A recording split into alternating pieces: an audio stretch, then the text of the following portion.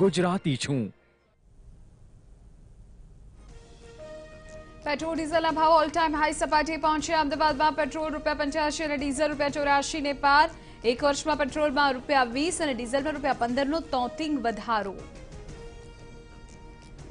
દેશમાં હવે વિમાન પ્રવાસ પણ મોંઘો થશે. સરકાર દ્વારા જુદા જુદા રૂટ્સ માટે ભાડામાં વધારો કરાયો. લઘુત્તમમાં દસ ટકા અને મહત્તમ ભાડામાં ત્રીસ ટકાનો વધારો સંભવ.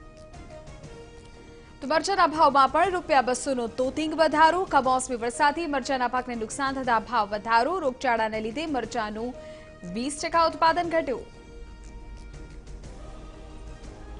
કાચા માલના ભાવ વધારા સામે આજે દેશભરના બિલ્ડર્સની હડતાળ અમદાવાદ બિલ્ડર્સ એસોસિએશન અને સુરત ક્રેટાએ પણ આપ્યું સમર્થન